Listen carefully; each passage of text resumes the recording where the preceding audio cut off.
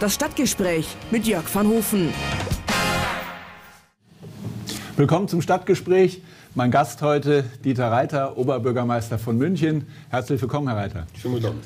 Herr Reiter, gestern muss es ein schöner Tag für Sie gewesen sein. Sie werden sich gefreut haben. Es gab eine Umfrage, eine Marktforschungsumfrage. Da haben Sie 64 Prozent, äh, über 64 Prozent kennen Sie.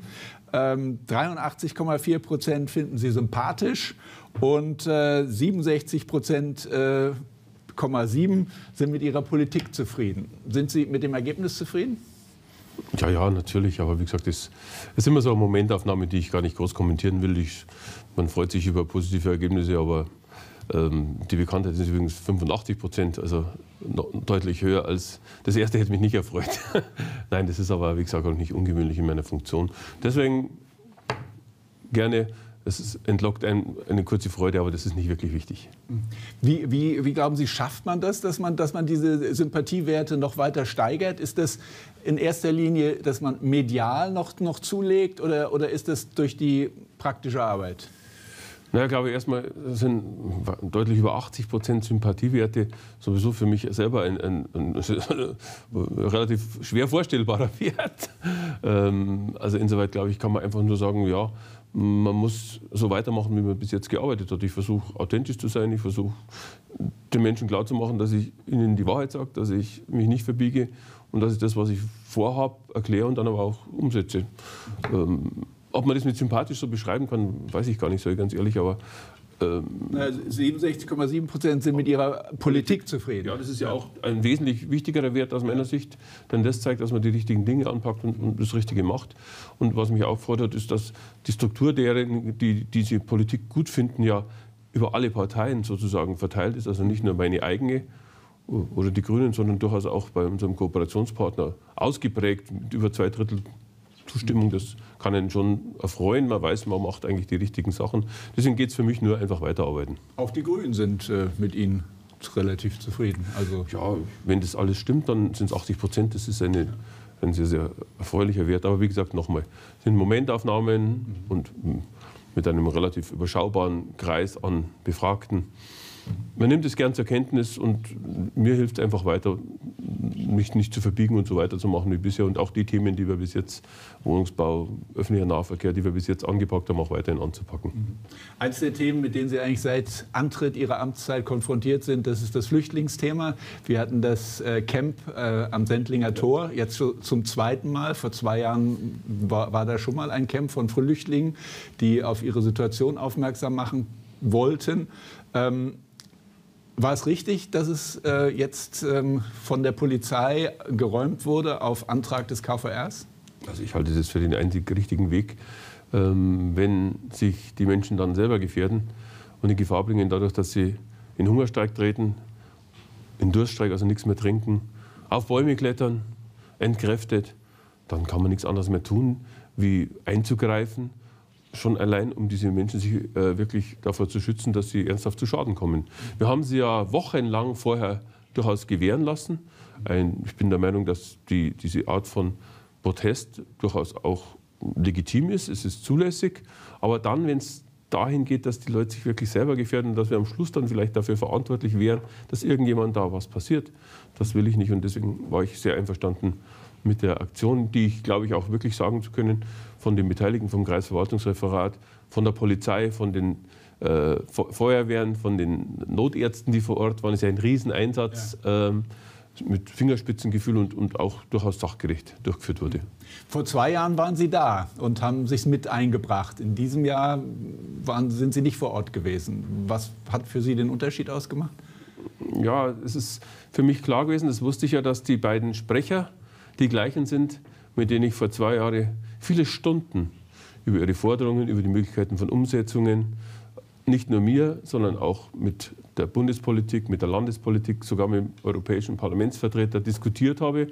Damals festgestellt habe, dass die Forderungen natürlich eher relativ apodiktisch gesehen werden und relativ schwer zu erfüllen sind. No Border, also keine Grenzen, no Nation, keine Nationen, no Deportation, also niemand schicken wir irgendwo wieder hin. Das sind halt Forderungen, da tue ich mir schwer, sowas nochmal zu diskutieren. Ich sah überhaupt keine, keine Basis für ein weiteres Gespräch, weil ich wusste, dass genau die gleichen Forderungen wiederkommen. Deswegen war es aus meiner Sicht einfach äh, nicht sachgerecht, dort vor Ort zu sein. Ich habe das stets beobachtet und habe mich ja praktisch täglich informieren lassen vom Kreisverwaltungsreferat. Und wenn ich das Gefühl gehabt hätte, da gibt es etwas, was ich mit meinem Gespräch verbessern kann, bewegen kann, zugunsten dieser Flüchtlinge verändern kann, dann wäre ich schon hingegangen. Aber wie gesagt, nachdem ich die Handelnden relativ genau kannte, äh, dachte ich, das ist diesmal tatsächlich nicht sachgerecht. Man kann das gar nicht ausschließen, dass das nochmal passiert an der gleichen Stelle. Ist also sozusagen eine ongoing story. Ja, man kann es nicht ausschließen. Es ist ein gutes Recht derjenigen, sich zu versammeln und zu protestieren und zu demonstrieren, auf ihre Lage aufmerksam zu machen. Mhm. Ähm, man darf sich fragen, ob es München der richtige Ort ist. Wir, glaube ich, haben tatsächlich ernsthaft demonstriert, die Münchnerinnen und Münchner vor allem, ja. aber auch die Stadt und die Politik dass wir durchaus anständig mit den Menschen, die zu uns kommen, umgehen. Deswegen fragt man sich halt, wenn man bundespolitische Forderungen durchsetzt, ob München da die richtige Stelle ist. Äh, es hätte da andere Situationen geben, wo vielleicht diese Entscheidungen eher getroffen werden können, die die Flüchtlinge tatsächlich haben wollten. Also ich will niemanden nach Berlin schicken, aber natürlich sind es Forderungen, die die Bundespolitik betroffen haben, ganz überwiegend. Deswegen ist ein Oberbürgermeister da auch überfordert. Ja, was ist Ihr Eindruck? Warum machen die das immer in München und nicht in einer anderen Stadt? Das ist eine sehr gute Frage. Ich kann sie Ihnen nicht erläutern. Wir gehen sehr, sehr vernünftig und, glaube ich, sehr, sehr dosiert mit ihnen um. Es gibt auch durchaus Menschen, die sagen, ja, die dürfen ja auf ihre Situation aufmerksam machen. Mhm. es gibt keine wirklichen Zwischenfälle. Vielleicht ist das der Grund zu sagen, hier können wir in Ruhe unsere Situation beschreiben. Aber letztlich, wie gesagt, ich will auch nicht sagen, dass es nicht mehr funktionieren kann. Nur man muss halt dann auch, wenn man was erreichen will, sage ich mal, kleinere Schritte irgendwo versuchen zu gehen und nicht diese Forderungen zu stellen, die eigentlich für niemand äh, erfüllbar sind, jedenfalls für keinen Bürgermeister oder Oberbürgermeister dieser Nation. Ja. Das sind auf jeden Fall bundespolitische Entscheidungen, die da getroffen Richtig. werden müssen. Und da ist, ist, ist, man natürlich dann hier in München überfordert. Aber ähm, national und international gab es jetzt also große Aufregung, weil in München eben äh, ein Asylheim für ähm, unbegleitete Minderjährige gebaut wird. 160 Jugendliche sollen da hinkommen. Und ähm, ein Schallschutz, eine Schallschutzmauer wurde gebaut in Höhe von vier Metern, die ähm, von den Anwohnern eingeklagt wurde. Die sind also vor Gericht gegangen und das Gericht hat ihnen Recht gegeben, dass wenn da dieses Asylantenheim gebaut wird, dass diese Mauer gebaut werden muss. Ähm, Glauben Sie, dass das schädlich ist für das Image von München, dass diese Mauer gebaut wird? Nein, was schädlich ist oder was schädlich sein kann, ist eine unglaublich überzogene mediale Debatte über dieses Thema. Also ich verstehe, dass das Signal, und das ist auch nicht mein Signal, wie ich Politik machen will mit Mauern, dass dieses Signal so interpretiert werden kann. Aber Sie haben es dankenswerterweise ja schon äh, zutreffend eingeleitet. Es ist ja nicht so, dass wir dieses, äh, die, diese Flüchtlingsunterkunft mit einer Mauer geplant hätten. Ganz im Gegenteil, wir haben sie ja schon erstellt. Ähm, dachten eigentlich, dass wir das Baurecht so richtig auslegen, nämlich dass es dazu keinen weiteren Schallschutz bedarf. Die, es haben sich eine Handvoll Bürger gefunden, die geklagt haben, haben vor Gericht Recht bekommen. Wir haben dann in Verhandlungen, und das hat die Frau Bürgermeisterin Strobel aus meiner Sicht absolut richtig gelöst, aus 4,50 Meter Höhe, die gefordert war, 4 Meter gemacht. Und das ganze Ding ist 53 Meter lang und übrigens auch nur an einer Seite.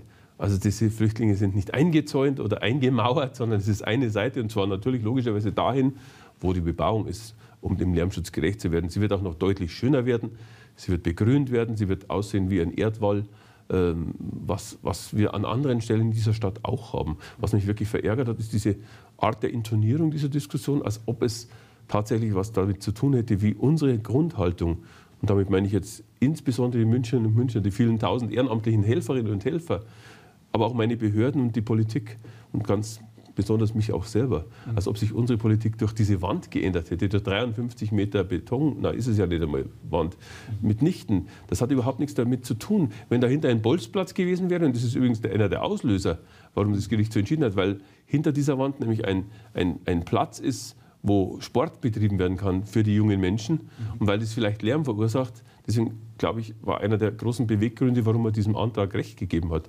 Aber wir haben in München Fälle, wo Kindertagesstätten, wo gegen Kindertagesstätten geklagt werden, wo neben Kindertagesstätten Lärmschutzwände entstehen, wo Bolzplätze entstehen. Dann wird dagegen geklagt und dann kommen da auch Lärmschutzwände hin. Also, dass wir jetzt so getan hätten, als wäre das nur, weil hier zufällig unbegleitete minderjährige Flüchtlinge sind, dass es jetzt einen Wechsel in der Politik wäre. Das ist nicht der Fall, das kann ich hier nochmal ganz deutlich sagen. Dadurch wird sich unsere Haltung, meine Haltung und alle, die ich angesprochen habe, und die dankenswerterweise auch immer noch bei der Stange sind, sicher nicht ändern. Hätten Sie sich gewünscht, dass die Richter anders entschieden hätten? Das ist eine gute Frage. Gerichtsentscheide in einem Rechtsstaat muss man akzeptieren. Mhm. Man muss sie umsetzen, das haben wir beides getan. Man muss sie nicht toll finden. Ähm, also insoweit wäre es sicherlich auch in einem oder anderen Fall immer mal wünschenswert, wenn Gerichte Spielräume, die sie haben, anders ausnutzen. Aber ich stehe weit davon entfernt, äh, Gerichtsentscheide zu kritisieren. Ich bin ein Verfechter des Rechtsstaates und wenn das Gericht so entscheidet, aufgrund der Auslegung der Vorschriften, die es zugunsten ja von Anwohnern, die in der Nähe wohnen, gibt, dann werde ich das akzeptieren. Mhm. Ähm Sie stellen wahrscheinlich immer mal wieder fest, dass Anwohner ähm, klagen und dass, dass sie eben, wenn, wenn es, äh, egal ob es, ähm, es gibt ja diese Flaschencontainer, äh, wo die hingestellt werden sollen, dass sie eben sagen, also nicht in meinem Garten. Äh, das ist, ist, ja wahrscheinlich eine Erfahrung, die sie, die sie auch immer öfter machen. Nicht? Dass also Anwohner sagen, äh, wenn es ein Problem gibt, dann bitte irgendwo anders, aber nicht, nicht, nicht in, meiner, in meinem Viertel. Ja, ohne zu sehr allgemein werden zu wollen, so ganz ehrlich, es ist schon ein interessanter gesellschaftspolitischer Prozess, mhm. dass das Individualinteresse doch immer stärker in den Vordergrund rückt und die Gemeinschaftsinteressen, also für Anlagen, die für alle dienen, deutlich in den Hintergrund geraten. Das erleben wir auch bei ganz normalen Bauen, das wir derzeit machen. Mhm. Es gibt einfach immer mehr Menschen, die ihr eigenes Interesse auch mit Klagen versuchen durchzusetzen. Das kann und will ich auch nicht kritisieren. Es ist aber nur ein bemerkenswerter Prozess, der natürlich auch sozusagen die Entwicklung einer Stadt und das, was ja immer mal wieder zwischendurch kritisiert wird, dass manche Dinge so lang dauern, definitiv nicht beschleunigt, sondern eher noch weiter verzögert. Mhm. Also diese Argumentation, dass auf der einen Seite äh, München die, die Flüchtlinge äh, vor zwei Jahren willkommen gehießen hat, oder vor einem Jahr, ja. und, ähm, und, und jetzt also eine, eine Politikwende stattgefunden hat, das, das äh, also, möchten Sie ausschließen. Die ist komplett daneben, sage ich jetzt ganz offen. Die ist komplett daneben. Das, hat, das eine hat mit dem anderen definitiv nichts zu tun. Mhm. Wenngleich dieses Bild einer Mauer natürlich, was ich verstehen kann, sich eignet, so im Zusammenhang mit Flüchtlingen Assoziationen aufzubereiten. Aber bitte nochmal, es ist eine Mauer an einen von vier Seiten. Es ist eine begrenzte Länge und es ist eine Schallschutzwand, die nicht wir erfunden haben, sondern die wir deswegen machen müssen, um einen Gerichtsentscheid letztlich zu vollziehen. Das hat nichts mit unserer Grundhaltung zur Flüchtlingspolitik zu tun. Beeindruckt Sie denn diese, diese nationale und internationale Aufmerksamkeit, die das Thema jetzt in den letzten zwei Tagen gekriegt hat? Naja, es überrascht mich, in welcher Intention und in welcher Stärke das tatsächlich äh, stattgefunden hat. Und mit welch langsamen Zugang zu den tatsächlichen Fakten, sage ich mal ganz vorsichtig. Ähm, wer die ersten Berichterstattungen gelesen, die ersten Berichte gesehen hat, konnte wirklich den Eindruck äh, äh, äh, bekommen, dass, dass wir hier eine komplett vier Meter hohe Wand um, ein, um eine äh, Flüchtlingsunterkunft gezogen hätten, die nicht mal Ein- und Ausgang hat. Also quasi die eingemauert hätten. Also das ist natürlich eigentlich völlig daneben, weil es ist, wie gesagt, nur eine Wand in einer Richtung. Also die Flüchtlinge können sich ganz normal frei bewegen, die können da dort auch Fußball spielen oder sonst was. Nur das Gericht hat gesagt, wir müssen die Anwohner vor Lärm schützen. Das nehmen wir zur Kenntnis und setzen es um. Hat aber definitiv keinerlei Bewandtnis mit unserer Einstellung zur Flüchtlingspolitik.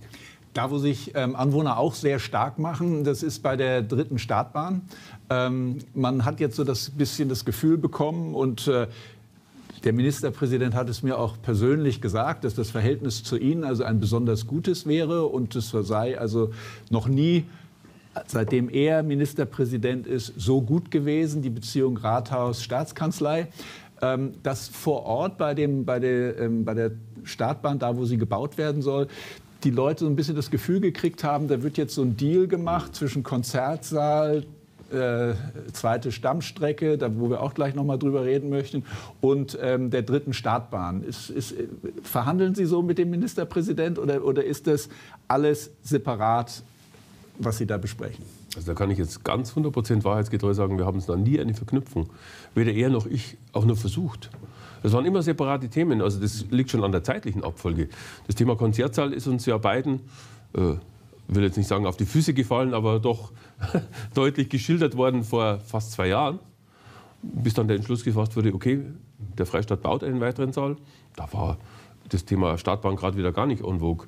Und die zweite Stammstrecke irgendwo in den Sternen. Die zweite Stammstrecke ist etwas, was ich schon seit zweieinhalb Jahren quasi immer wieder über die Ministerebene, auch bis nach Berlin zum Bundesverkehrsminister versucht habe zu treiben, wo der Ministerpräsident dankenswerterweise auch hier die Stadt und das Umland unterstützt.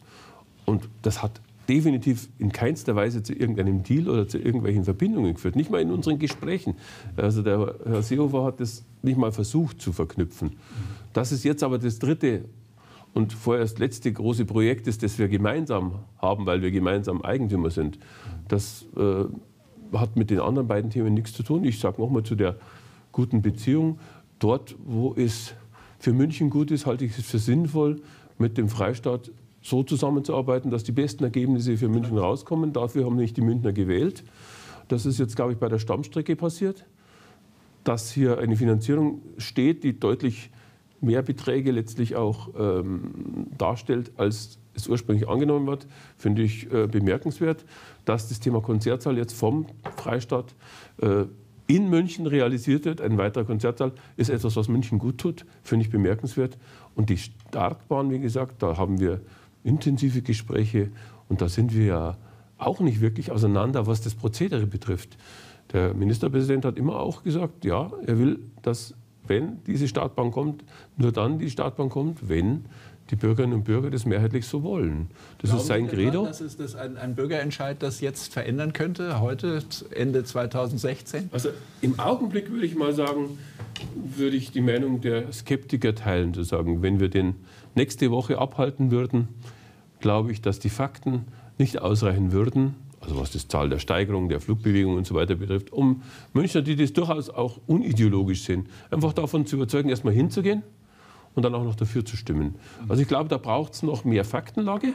Das war auch immer mein, mein, mein, meine Credo dazu, zu sagen, wir brauchen eine mehrjährige Entwicklung, steigende Zahlen von Starts und Landungen, die einfach hinterlegen, dass jetzt der Flughafen irgendwann, wenn er weiterhin diese Entwicklung haben will, die wir in München als Wirtschaftsstandort durchaus äh, benötigen, dass er dann eine weitere Stadtbahn braucht. Es hat ja eine Steigerung gegeben zum letzten ja, Jahr in diesem aber wie Jahr. Gesagt, also eine Steigerung von einem Jahr mhm. halte ich jetzt nicht für einen Trend, den man wirklich umsetzen kann in der Richtung, dass man sagt, jetzt ist es nachhaltig so, jetzt gehen uns die äh, Slots für Starts und Landungen wirklich endgültig aus. Mhm. Und der Fakt, und den muss man mir halt immer noch erklären, ist immer noch, hat immer noch Bestand, dass es halt schon mal deutlich über 400.000 Starts und Landungen mit zwei Bahnen gab. Und wir sind jetzt, glaube ich, bei 380.000. Mhm. Also da ist schon noch Luft und das muss man einfach erklären. Und nicht nur mir, sondern man muss vor allem den, denjenigen, die darüber abstimmen, erklären, dass es jetzt soweit ist. Haben Sie denn so von der Zahl, also Sie haben völlig recht, das waren, das waren mal 400.000 und jetzt sind es unter 400.000, aber trotzdem sind es mehr als im letzten Jahr. Ähm, haben Sie für sich da so eine, so eine Marke gesetzt, wann Sie sagen, ab, weiß ich nicht, 450.000 äh, würde ich jetzt noch mal überlegen, ob ich die Bürger, äh, die Münchner Bürger zur, zur Urne bitte? Naja, also ich habe mir keinen Zahlenwert vorgenommen, sondern ganz ehrlich, es geht um kontinuierliche Steigerung, die natürlich schon auch nennenswert sein muss. Also nicht ein Viertel Prozent, sondern zwei, drei Prozent und das über ein paar Jahre. Dann kann man sagen, die, der Bedarf steigt erkennbar. Mhm. Liebe Münchnerinnen und Münchner, stimmt noch mal drüber ab. Ähm, das ist mein Credo. Ich habe mir keine keine Zahl vorgenommen, übrigens der Ministerpräsident meines Erachtens auch nicht, sondern wir werden uns einfach die Entwicklung anschauen. Und ich glaube einfach, dass das der einzig sinnvolle Umgang ist, wenn man überhaupt eine Chance haben will, die Münchner und Münchner mehrheitlich davon zu überzeugen, dass das notwendig ist. Das heißt jetzt, dass der Flughafen wahrscheinlich eine Millionenkampagne starten wird, um zu überzeugen, dass das Sinn macht, jetzt schon für eine dritte Startbahn ähm, ja, sich stark zu machen. Äh, unterstützen Sie eine solche Kampagne?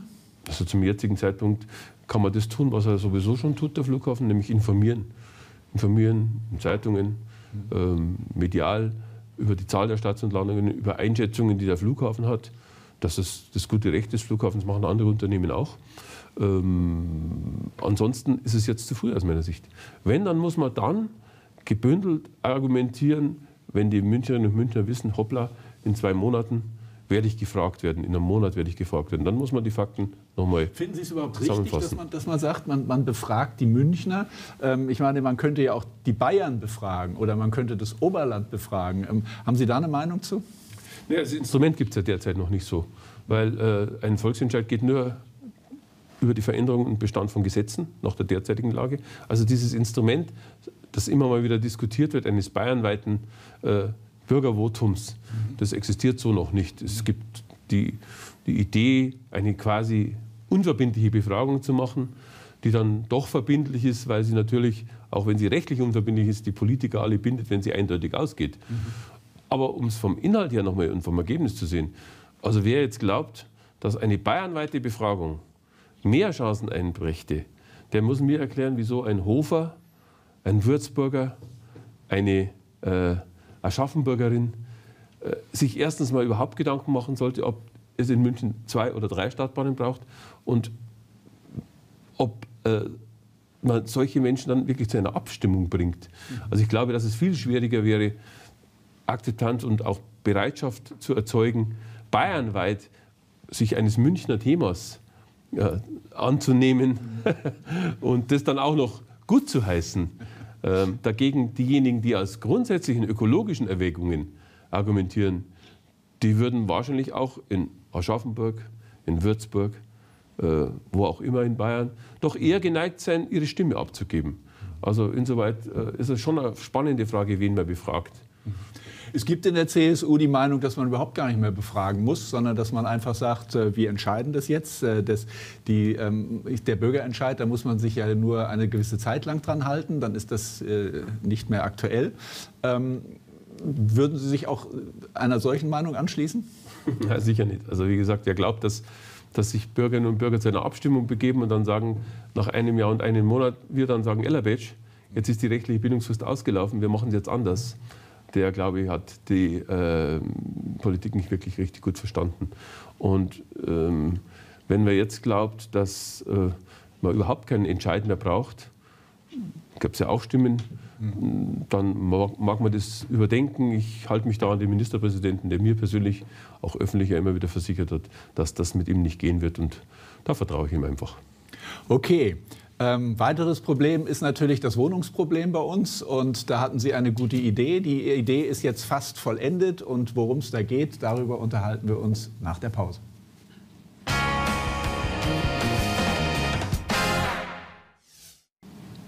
Ja, mit dem Münchner Oberbürgermeister Dieter Reiter unterhalte ich mich über verschiedenste Themen, die uns hier in der Stadt bewegen. Und ein Thema ist natürlich das Wohnproblem und ähm, das zähe Bauen von neuen Wohnungen. Und Herr Reiter, da hatten Sie ja jetzt diesen Vorschlag gemacht, dass man Parkplätze überbauen soll. Das ist jetzt geschehen und ähm, da gab es ein Richtfest. Erzählen Sie doch den Bürgern noch mal, warum das Vorteile hat, ein, ein, ein, ein Haus, ein Wohnhaus. Ich bin mir jetzt gar nicht sicher, wie viele Parteien da eigentlich drin wohnen. Das können Sie wahrscheinlich gleich sagen. Ähm, über einen Parkplatz zu bauen. Ja, die Idee ist, wie gesagt, in bei uns zwar neu, aber auf der Welt natürlich nicht, weil es gibt in Asien genug Flecken, wo es auch sehr wenig Fläche gibt und deswegen geboren an einem Biertisch im Grunde diese Idee in einem losen Gespräch, dann blätternd in einem Buch und dann habe ich dieses Bauen auf Stelzen gesehen und die Idee ist halt ohnehin schon versiegelte Flächen, also betonierte, geteerte Flächen ja. zu benutzen und nicht andere Räume wie Grünflächen zu bebauen.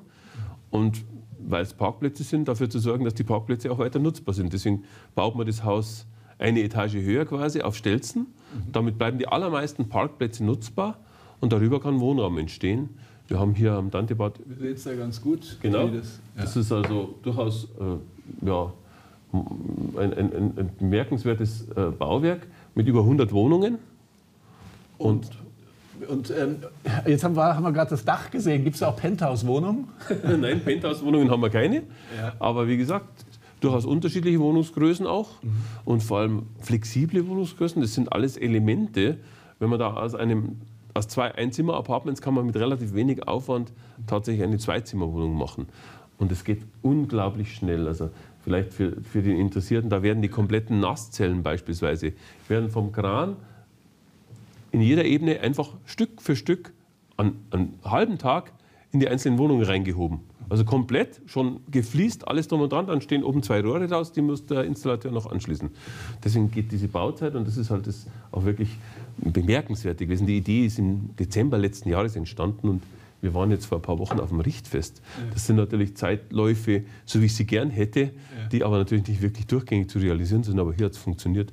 Nicht mal ein Jahr. Ja, ist denn das ein, ein Einzelobjekt gewesen oder, oder streben Sie von dieser Art mehrere Gebäude an? Also die Idee wollte ich einfach mal verwirklicht sehen, sage ich ganz offen. Wir haben einen Partner gefunden und äh, da entstehen Wohnungen, das muss man vielleicht auch noch sagen, wo ein Einzimmer-Apartment 250 Euro Miete kostet. 250 Euro. Das sind schon, äh, ich sag, da könnte ich, habe ich bei der Rede dort gesagt, 5000 in einer Woche in München vermieten. Ja. Ohne Probleme. Da kommt natürlich, ja gut, aber da kommt natürlich die Frage auf, wer kriegt denn diese Wohnung? Ganz normal. Wohnungslose, Auszubildende, Studentinnen und Studenten, anerkannte Asylbewerber, kunterbunt. Für mich ist wichtig, dass wir diese Wohnform sozusagen wirklich nach vorn bringen, dass wir unsere Flächen, die noch nicht versiegelt sind, also Wiesen und freie Flächen, nicht wirklich zubauen, sondern das zu bauen, was ohnehin schon zu ist. Und deswegen habe ich ja auch die, die Manager der großen äh, Einzelhandelsketten eingeladen, die dankenswerterweise auch wirklich namhaft erschienen sind. Alle großen, die wir kennen, ich sage es jetzt nicht alle, sonst vergesse ich wieder einen. Ja, aber, aber, die Zuschauerinnen und Zuschauer. Also Lidl, Aldi, Rewe, Penny. zum Beispiel, ja, genau. So zum Beispiel, ja, genau. Richtig. Die alle flache Dächer und die haben. haben die haben große Parkplatzflächen, ja. zum einen. Und sie haben, und das war ja der zweite Teil der Idee, ähm, auch natürlich Märkte, die, wie die Münchnerinnen und Münchner wissen, im Regelfall erdgeschossig sind. Und da habe ich dann auch laut gedacht beim Rumfahren in der Stadt, Mensch, wieso nutzen wir diese Fläche über diesen Märkten nicht besser? Die Kassiererin, die Kassierer, die Menschen, die die, die ähm, Regale befüllen, die alle nicht wirklich viel Geld verdienen, die würden sich sicher freuen, wenn dort auch bezahlbarer Wohnraum entstünde. Und auch die Idee ist durchaus dankbar aufgenommen worden.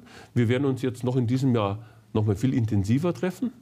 Da werden einzelne Projekte besprochen und ich hoffe und wünsche mir und glaube auch daran, dass es das ein oder andere Folgeprojekt geben wird, was beweisen wird, dass man auch mit schon versiegelten Flächen auf Parkplätzen tatsächlich was anfangen kann. Wenn jetzt ein Zuschauer das gesehen hat, äh, dass da am Dantebad ähm, eine Parkfläche überbaut wird und sagt, das ist etwas, was mich interessiert, wo bewirbt man sich denn dann für eine solche Wohnung? Also die, die, Vergabe funktioniert ganz normal über das Amt für Wohnen und Migration, also unser Wohnungsamt, mhm. Vulgo. Ähm, einfach ganz normal anschreiben an das städtische Wohnungsamt, auch an mich. Ich kriege solche Briefe auch immer wieder. Und dann bewirbt man sich. Und dann wird über die normale Vergabesituation, wie bei anderen Wohnungen auch, mhm. ähm, über die Vergabe, also über die Mieterinnen und Mieter entschieden. Mhm. Was ich will, ist, dass mehr von diesen Wohnungen zur Verfügung stehen, damit wir Gott sei Dank hoffentlich irgendwann mehr Münchner in München auch diesen Wohnraum anbieten können. Ja, und, und die Belegung äh, geschieht nach, nach einem gewissen Schema? Also, also dort haben wir ja im Rahmen des Wohnprojektes Wohnen für alle gesagt, dass wir eine sozusagen hälftige Belegung durch anerkannte Asylbewerber und hälftige Be Belegung durch auszubildende Studenten, sonstige Wohnungssuchende anstreben, mhm. weil wir natürlich auch die anerkannten Asylbewerber in Wohnen kommen müssen. Die sind nach ihrer Anerkennung nämlich Münchnerinnen und Münchner mhm. äh, und haben das gleiche Recht wie alle anderen, nicht mehr, aber das gleiche. Mhm. Beziehungsweise wir werden, wenn ältere, äh, längere Wartezeiten bei anderen Menschen bestehen, natürlich die mhm. genauso bevorzugen. Das heißt, es wird eine ganz normale Vergabe wie jede andere Wohnung auch.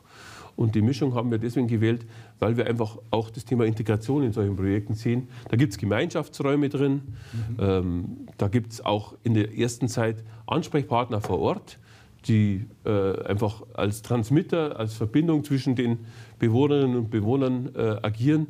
Und ich hoffe, dass dieses Projekt wirklich auch gelungen zeigen kann, wie Integration funktionieren kann. Und wir haben auch das Thema, dass dort nur Männer einziehen wirklich äh, bearbeitet und gesagt, wir wollen, dass mindestens 40 Prozent eher lieber Hälfte, Hälfte Frauen und Männer einziehen, mhm. damit wir nicht so eine Art Männerwohnheim hier generieren. Also da kann ich jede Besorgnis sozusagen äh, entspannen. Und ich hoffe, dass es dort gut funktioniert.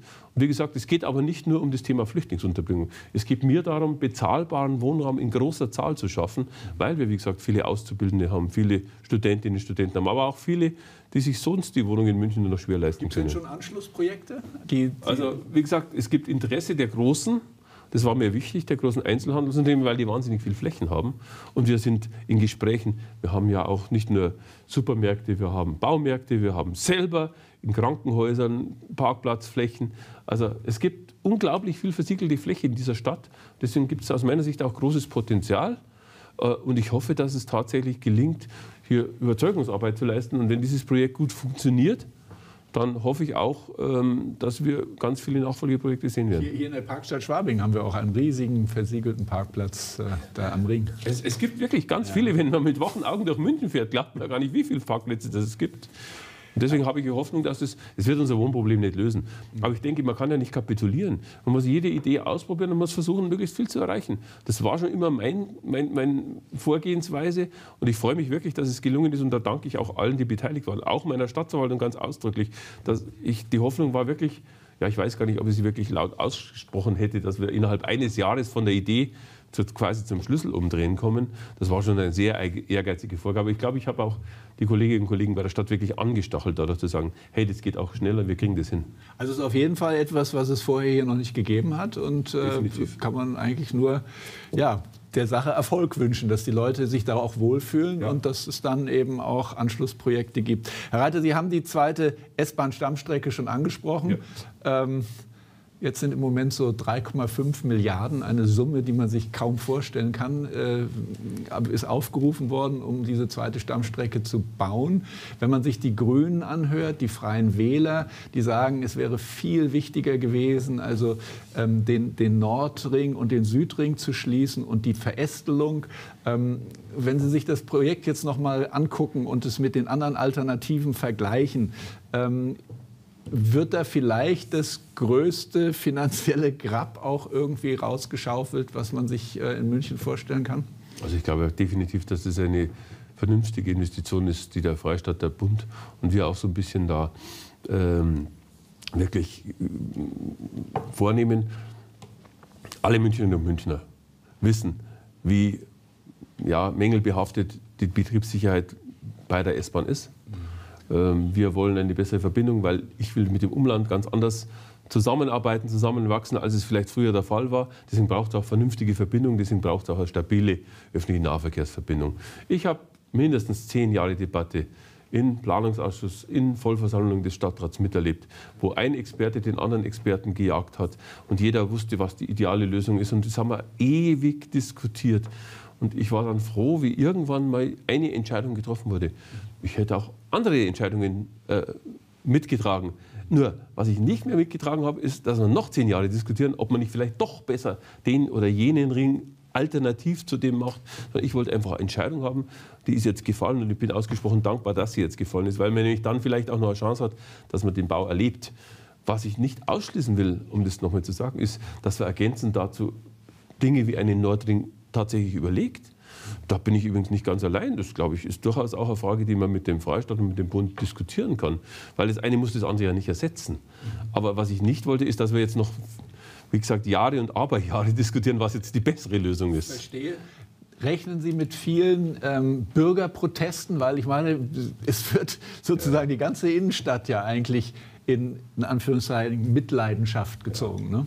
Also wir versuchen, auch das ist schon äh, Übereinstimmung natürlich den Bau so schonend in Anführungszeichen wie möglich zu machen. Das heißt, man muss überlegen, wie, wie schafft man den Aushub weg. Muss das unbedingt über die Straße stattfinden? Kann man den über die Schiene abwickeln? Also kann man praktisch nicht überall äh, die Erdhäufchen ansammeln, sondern kann man das erstmal transportieren. Schwer. Am Marienhof wird es zugegebenermaßen schwer. Es gibt Flächen, da kann man es nicht vermeiden. Aber ganz ehrlich, dann bitte ich mir einfach mal zu schreiben, wie denn meine Lösung aussehen soll. Da bitte ich mich einfach mal zu, mir zu sagen, wie man denn das lösen soll. Wir, werden, wir bauen vielleicht den einen oder anderen weiteren Tunnel, wir bauen vielleicht äh, ganz viele äh, sonstigen öffentlichen Verkehrsstrecken, wir bauen vielleicht Trambahnen, wir bauen vielleicht äh, neu, einen neuen Gasteig, was wir alles tun. Das wird aber alles, hat alles was mit Bauen zu tun. Das heißt, es wird überall gegraben werden, es wird überall aufgegraben werden. Und deswegen muss ich einfach da nochmal sagen, da gibt es die Quadratur des Kreises nicht. Und es ist ja auch, wie gesagt, ein kleines Beispiel, das ist diese Anwohnertiefgarage am Josefsplatz. Was ist da geschimpft worden über diese Anwohnertiefgarage? Menschen haben sich quasi wirklich ja, ich will nicht sagen fast festgekettet, aber wirklich gesagt, das ist das Ende der Veranstaltung. Ich war kürzlich dort. Das ist eine wunderbare begrünte Fläche, da spielen Kinder oben drauf und sie ist komplett angenommen. Was ich damit sagen will, ist, während der Bauzeit wird es immer Protest geben. Danach ähm, wird es gern genommen. Ich glaube, da gab es schon mal drei so Verkehrstunnel in München, die auch nicht von Anfang an alle geliebt haben, ohne die man sich den Straßenverkehr in München derzeit nur noch ganz schwer vorstellen könnte. Na, es wird natürlich auch der ganze Hauptbahnhof wird abgerissen. Ja, den habe ich ganz vergessen, genau. vergessen. Der Hauptbahnhof, was ja auch eine Kleinigkeit ist, Ja. vor allem verkehrlich natürlich, äh, wenn man den Hauptbahnhof weitflächig umfahren muss. Da wird kein öffentlicher Verkehr mehr in die Nähe kommen, also jedenfalls nicht direkt zum Hauptbahnhof. Das wird also die nächste große Anlage. Wir, ja, wir wollen U-Bahn-Linien bauen, habe ich vielleicht auch vergessen. U5 nach Pasing, eine Innenstadtentlastungslinie. Alles im laufenden System, weil das normale U-Bahn-System ja weiter funktionieren muss. Also das sind, auch die sind unterirdisch. Muss Also, man dann vielleicht äh, eine, eine Yoga-Veranstaltung für alle Münchner oder Beruhigungspillen verteilen? Denn das wird natürlich anstrengend. Nicht? Das Also wird sicher anstrengend, da muss ich jetzt schon um Verständnis bitten. Wir- Werbe aber nochmal darum zu sagen, wir wachsen total schnell. Wir sind eine erfolgreiche Stadt, die schönste Stadt, die es gibt, deswegen kommen so viele Leute zu uns. Und deswegen muss man auch die Infrastruktur anpassen, sonst sind wir das nämlich irgendwann nicht mehr. Und ganz ehrlich, natürlich könnte ich jetzt als Oberbürgermeister sagen, ja, auch wenn ich jetzt noch acht Jahre oder so, wie lange ich auch immer Oberbürgermeister sein werde, das erlebe ich eh nicht mehr, dann bin ich jetzt erstmal dagegen, machen wir ja weniger. Aber das ist nicht meine Interpretation. Ich glaube, man hat schon Verantwortung auch und die muss man auch dann wahrnehmen, wenn man vielleicht nicht von Anfang an Beifall kriegt. Diese Verantwortung wird auch von einer großen Fangemeinde von Ihnen gefordert. Nämlich, ich meine, man weiß natürlich, dass Sie ein Roter sind, nicht nur politisch, sondern auch fußballerisch. Aber der blaue Schlips, vielleicht äh, die blaue Krawatte, vielleicht zeigt die ja ein bisschen in die 60er Richtung, dass Sie denen also gar nicht so abgeneigt sind, weil man hat jetzt gehört, dass der Investor, der Herr Ismaik, und auch der Präsident, der Herr Casalette, bei Ihnen gewesen sind und, und äh, Ihnen einen Vorschlag oder mit Ihnen darüber gesprochen haben, wie man denn jetzt ein 60er-Stadion im Riemer Bereich äh, bauen könnte. Ähm, ist das überhaupt realistisch? Ich meine, wenn man sich die Tabelle anguckt, im Moment mit den 60ern, das ist eine Katastrophe. Ja? Aber der Mann hat ja vielleicht wirklich so viel Geld, dass er Sie davon überzeugen kann, dass er das finanzieren kann. Also erstens mal, Sie waren ja schon mehrfach bei mir. Und natürlich, ich bin Münchner Oberbürgermeister, ich bin bekennender Bayern-Fan, aber äh, mein Herz schlägt deswegen schon für die Löwen, weil ich hätte so gern irgendwann mal noch mal ein Lokalderby, ein echtes Lokalderby in der Bundesliga. Das habe ich früher als Kind erleben dürfen mit meinem Vater. Das wäre was Wunderschönes. Ich wünsche den sportlichen Erfolg. Derzeit haben Sie gesagt, sage ich nichts dazu. Ähm, das Thema Stadion, ja, ich habe ich hab immer gesagt, ich unterstütze die 60er auch beim Bau eines neuen Stadions in der Form, dass sie halt Planungsrecht schaffen oder planungsrechtlich Dinge ermöglichen. Äh, zahlen werden wir es nicht, das dürfen wir nicht und werden wir auch nicht. Ähm, ob der Herr Ismaik das tatsächlich finanzieren kann oder nicht, äh, ich weiß es nicht. Ich weiß nur, dass er den Eindruck erweckt, dass er das tun will. Ähm, unserem letzten Gespräch ging es darum, dass wir über die Größe uns unterhalten haben des geplanten Stadions. Da reicht ja anscheinend der Platz im Moment nicht aus. Also und, das, und, und Sie müssen den, den Ministerpräsidenten davon überzeugen oder die Staatsregierung, dass sie da einen größeren Teil noch zur Verfügung stellt. Ja. Haben Sie das schon äh, angeregt, das Gespräch? Also wie gesagt, nachdem der Herr Ismaik, und ich weiß nicht, äh, inwieweit es realistisch ist, ein Stadion mit über 50.000 Sitzplätzen haben wollte und auch noch außenrum ein paar Dinge, äh, braucht es natürlich viel mehr Platz als das, was wir ursprünglich uns eigentlich auch mit den 60ern schon mal angeschaut hatten, äh, wo ein, sagen wir mal, 30.000er Stadion hinpassen würde. Das nehme ich zur Kenntnis. Äh, letztlich ist es die, die Entscheidung des Vereins, ob er glaubt, ein 50.000 Mann, Frau fassendes Stadion tatsächlich wirtschaftlich betreiben zu können. Ich will dazu nichts sagen. Auf der Fläche jedenfalls, wo, wo wir vorher gesehen hatten, gehen maximal 30.000. Das wissen die 60er auch. Jetzt habe ich gesagt, ich frage mal den Miteigentümer der Messe, und es geht ja um Gelände, die der Messe zustehen, äh, wie er sich denn äh, dazu verhält. Ich habe mit der Frau Eigner gesprochen, die ja sich mit mir sozusagen den Aufsichtsratsvorsitz dieser Messegesellschaft alternierend teilt. Da müssen Sie beide sozusagen äh, dem Herrn Ismaik dieses äh, zusätzliche Grundstück genehmigen. Ja, das Problem ist ja, dass dieses ein Grundstück ist, das dann ja nicht mal nur den Parkplatz belegt, sondern auch noch äh, Teile des eigentlichen Messegeländes, das wir für die Bauma benötigen. Und da glaube ich ganz ehrlich sagen zu können, also dass wir einen Teil des Messegeländes, auf dem die erfolgreichste Messe der Welt stattfindet, nämlich die Bauma, äh, abtreten werden. Da wird sich die Begeisterung sowohl des Freistaats als auch meiner Wenigkeit etwas in Grenzen halten. Deswegen müssen wir, glaube ich, dann gegebenenfalls noch andere Lösungen suchen. Wir haben aber gesagt, wir besprechen das im Aufsichtsrat mhm. der Messe und das werden wir noch dieses Jahr tun und dann werde ich wieder mit dem Herrn Ismail reden. Ähm, warum Riem, wenn Sie das nochmal in. Naja, wir haben ja für, das, für die Allianz Arena ja. damals schon ganz viele Standorte in dieser Stadt gesucht. Und ganz wenige eigentlich auch tatsächlich für Fußballstadion. Riem ist deswegen gut, weil erstens, es gibt kaum Anwohner, zweitens, es gibt eine unglaublich gute verkehrliche Erschließung, sowohl Individualverkehr über die Autobahn, als auch natürlich äh, öffentlicher Nahverkehr. Also eigentlich ideal, äh, wenig Konfliktpotenzial mit Anwohnern, gut erschlossen. Deswegen war, ist Riemen einfach, einfach, glaube ich, das Gebot der Stunde. Also da dürfen wir gespannt sein, denn der Vertrag in der Allianz Arena läuft 2020 aus für die 60er ja. und da muss man sich was überlegen. Herr Oberbürgermeister, ich danke Ihnen, dass Sie heute bei uns waren. Sehr gerne. Danke Ihnen fürs Zuschauen. Bleiben Sie dran, das Programm bleibt weiter interessant. Namen.